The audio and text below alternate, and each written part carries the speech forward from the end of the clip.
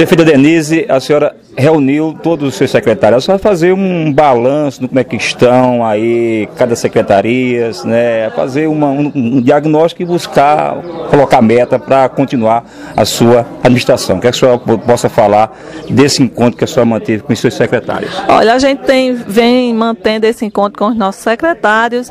É, todos os meses, após o mês terminar, a gente faz um levantamento de tudo que foi feito, como é que estão as secretarias, cobra o funcionamento né, das secretarias de forma que venha atender a população de Cajazeiras da forma melhor possível. Então a gente tem se reunido, é muito bom porque a gente discuta as dificuldades, as ações que foram feitas e tem o trabalho próximo da gente para que a gente possa ter todas as informações do que está sendo feito. A senhora coloca também metas em algumas obras, alguns andamentos em cada secretaria, a senhora busca saber isso? Olha, nós buscamos no começo né, da, da entrada do nosso secretário um plano de trabalho e estamos buscando o cumprimento dessas metas que foram apresentadas por eles próprios. Vamos falar sobre o trânsito, é um ponto que a senhora discutiu isso, inclusive plantação de zona azul nas ruas de Cajazeiras. É, a gente está aqui com a última equipe de reunião, que é a equipe da Secretaria do, da Superintendência de Transporte e Trânsito, eu, Domar e a advogada Tatiana, junto com alguns vereadores, estamos discutindo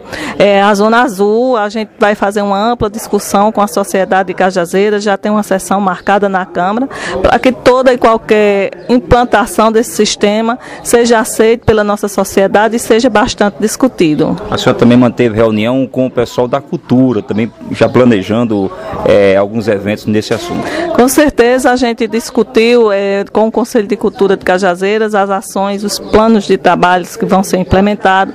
Aprovamos a lei do FUMINC, né, para que a gente possa ajudar aquele que tem projeto na arte, na cultura de Cajazeiras, ele possa receber um recurso da prefeitura para realizar o seu projeto.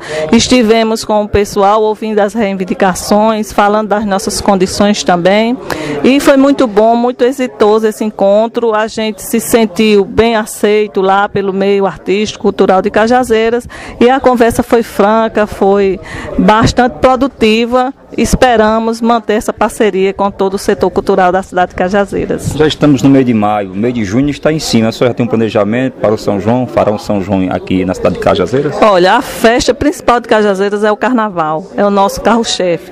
As condições do município não oferecem para se fazer duas festas. A parte financeira do município não ofereceu nem para a gente fazer o carnaval, imagine para fazer uma festa de São João. Então a gente está priorizando o evento do Dia da Cidade, estamos aí vendo a contribuição dos comerciantes, das empresas de Cajazeiras, para a gente fazer uma, uma, festa local, regional, é, com forró pé de serra, com apresentação de quadrilhas e um festival é, na parte de artes, de cultura de Cajazeiras, apresentação de novas músicas, novas letras de música, novos intérpretes. No caso, a senhora quer descobrir com mais informações assim, digamos, mais artistas cajazeirenses, né, com músicas regionais e locais, porque Cajazeira também, muitos artistas cantam o nome de Cajazeiras? A senhora quer descobrir isso mais ou menos? É, isso? com certeza a gente está buscando esses talentos em Cajazeiras. Eu acho que fazendo uma festa regionalizada, com a cara da nossa região, com a cara de Cajazeiras, a gente vai atrair é, o turista de forma daqueles que não querem vir para um evento apenas de forró, é, com grandes bandas, mas aquele forró nordestino, autêntico, de pé de serra, com comidas típicas, uma praça onde a apresentação de quadrilhas desses artistas é, fará o evento de Cajazeiras. A senhora também tem priorizado e preocupado muito a questão do servidor público, a senhora tem mantido isso como prioridade.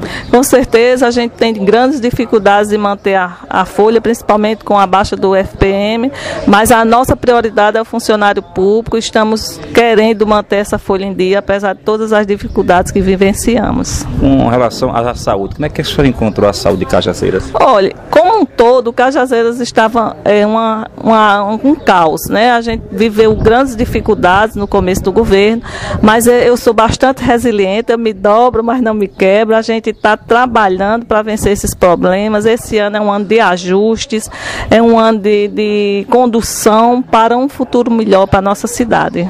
Prefeito, a gente agradece a participação aqui que a senhora teve com a Folha do Sertão e deixa os microfones, algo mais que a senhora queira acrescentar. Desde então, parabenizar a senhora nesses 100 dias de governo, a senhora mostrando para que veio.